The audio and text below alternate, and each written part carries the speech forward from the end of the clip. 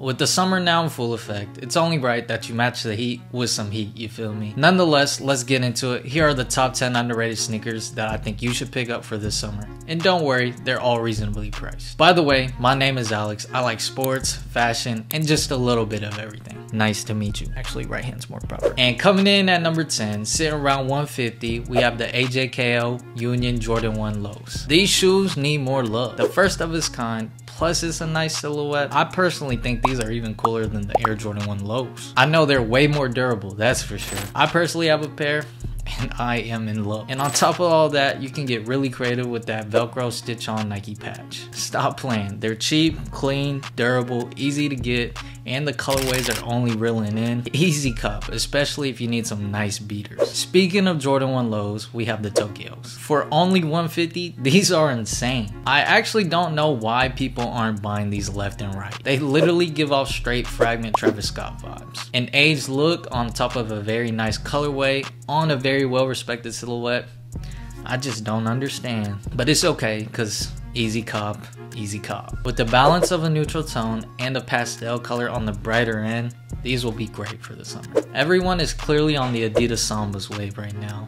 However, I think they're low-key forgetting how nice the Adidas campuses are and they're around a hundred bucks. I mean, come on. If there's a shoe that screams summer on this list, it's definitely these. They give you a whole lot of color and a whole lot of youth. I mean, it is a shoe that Bad Bunny decided to get creative with. Nonetheless, super playful but still mature. So clearly, versatility isn't a problem. The sky is the limit for these. And if you're not into bulky silhouettes, they have a slimmer version too. Just check out the Adidas Campus 80s. Same DNA, but they're just like the smaller sister. Of course, I had to add Nike Dunks. They're not going anywhere just yet, but I want you guys to look into these two specific colorways. For around $180, the Sand Drift Dunks go crazy. Neutral colors with the tan and khaki, you'll be pulling off fits left and right. Now to match that exact same vibe, you also got to check out the industrial blue Sashikos, which are even cheaper sitting around 135. I saw these on TikTok and god Damn. Clearly the sand drifts are like your khaki pants, so it was only right I had to hit you with the blue jeans too.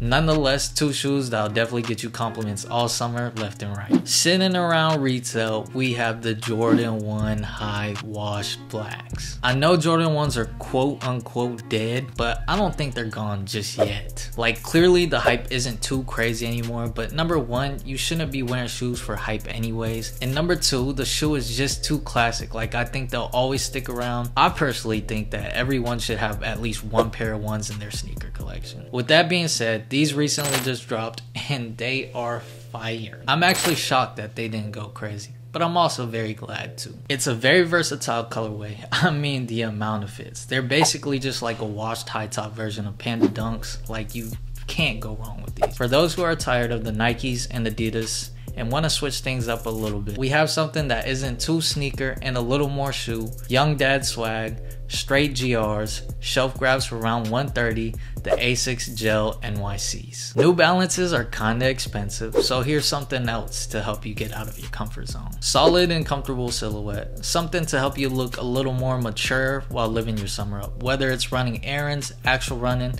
or straight chilling. I don't know why so many people hate on Asics, but you could definitely catch me in these. And now for the honorable mention. It's only right that I had to throw a clogger slide in here. For nothing over 80, we have the Echo Crocs. I mean, what is summer without something easy to throw on, something to let the dogs breathe, and something to wear while you're just macking at the pool or the beach. I personally have these and they break necks. They look very similar to the Salehe Bembury Crocs and they have a very easy feel to them too, especially with some of their marbled colorways. And they got slide versions too. Stop playing. And then to top it all off, they're both very easy to get. Well, those are all of my favorite affordable shoes out right now. Definitely let me know what you guys think in the comments and what y'all would personally be rocking this summer. And as always, like, comment, subscribe, and all that happy shit. I'll see you guys in the next one. Peace.